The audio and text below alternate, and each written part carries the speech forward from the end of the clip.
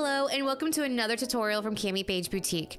I'm Brooke Tannehill and today I'm showing you how I created this rustic distressed geode tumbler with inspirational decal. It's been a rough couple of years on all of us and this verse serves as a wonderful reminder to not hold back and keep moving forward. Not to mention, I have been on a pink kick lately, so this has the perfect color scheme. As always, all the products I use will be listed in the description below, and you may even find a coupon code or two that saves you some coin. Also, join our exclusive Facebook group where you can take advantage of upcoming freebies and giveaways that you aren't going to want to miss. So, without further hesitation, let's go ahead and get started.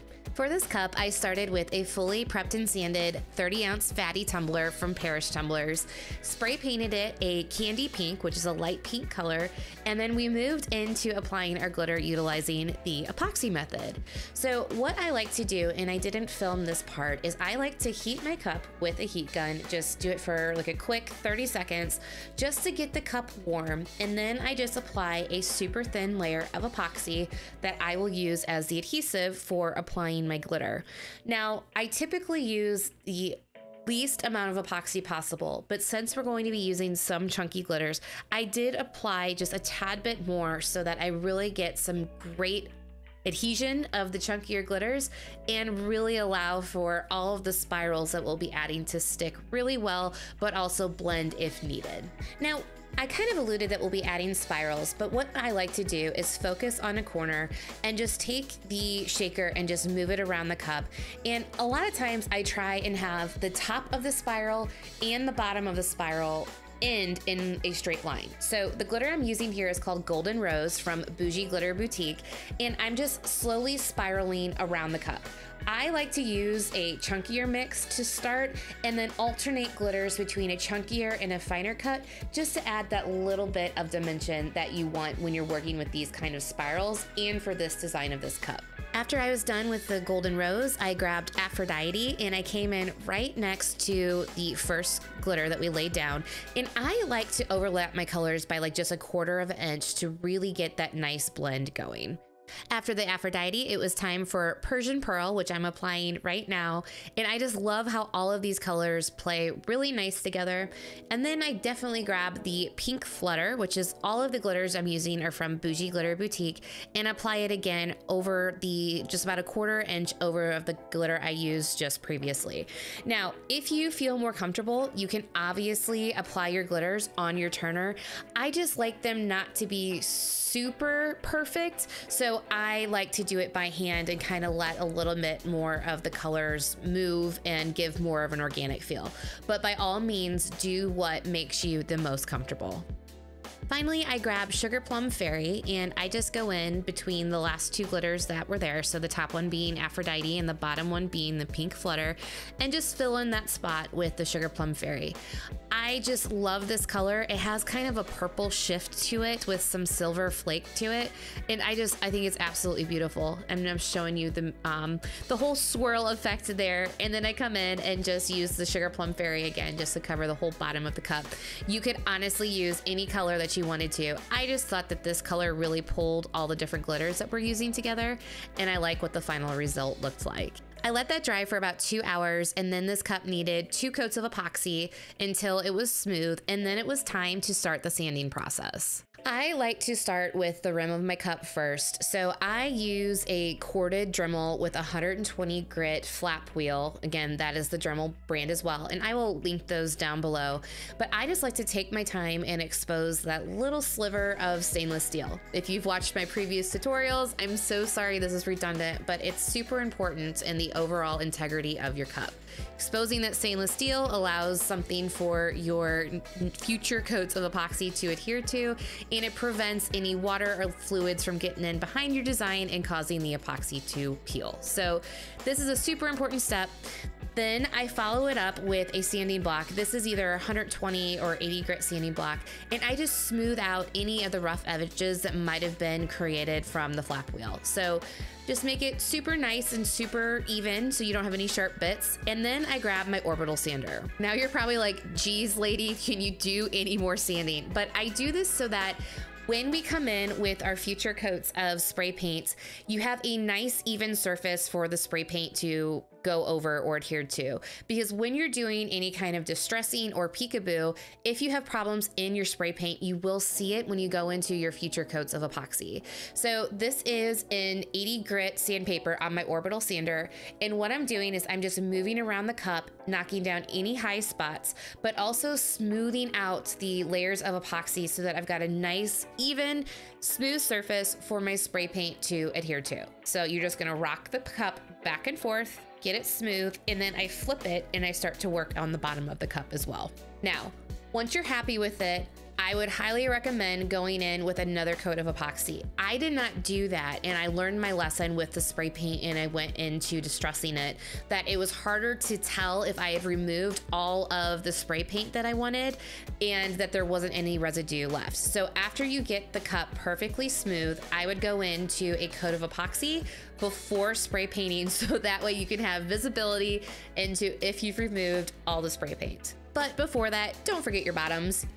A lot of times, a lot of people struggle with getting their bottom smooth. This is just one of the ways that I've done it. You can do obviously do it with like a sanding block by hand, but when you have those really rough kind of chunky mixes, I found that that's the fastest and easiest way to do it. Now, learn from my mistakes and go into a coat of epoxy before this. But what I'm doing here is I'm laying down a spot that will allow for a peekaboo for our decal that we will be applying. So when I did the design, I did two offsets. One of the offset of the original decal that will be in vinyl, but what this one's going to do is allow a placement for a peekaboo of the glitter to show through around the decal instead of the distressing. So it'll become more prominent or evident further on, but I really wanted to do that for this design.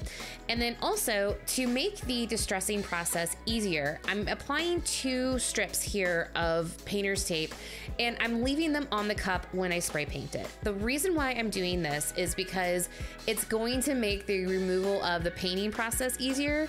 Um, so I'm not having to remove as much paint. So just apply your painter's tape just randomly around the cup.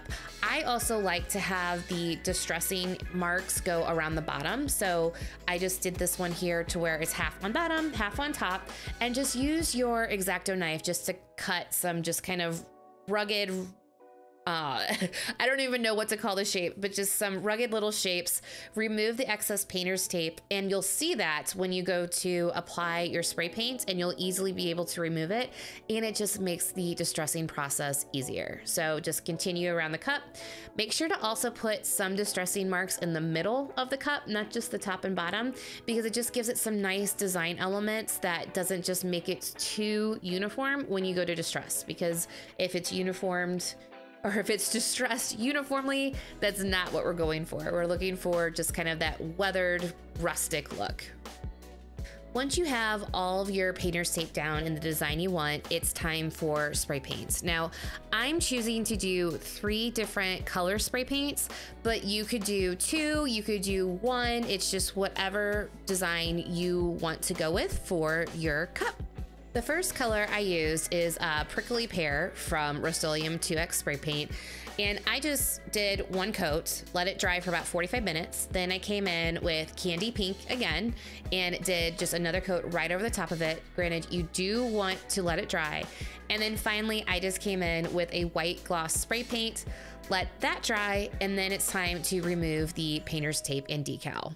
When you're removing the tape, you don't have to be as careful as you typically do with other peekaboos because if you remove the tape um, and scratch it, it's fine because we're going to be taking off a lot of the paint anyway. And so if you have tiny scratches, we can definitely camouflage it with the um, acetone and alcohol that we will be using. Now, one thing I do want to call out here is I didn't let this fully cure. I highly recommend that you remove the tape and do the distressing with the spray paint all in the same day.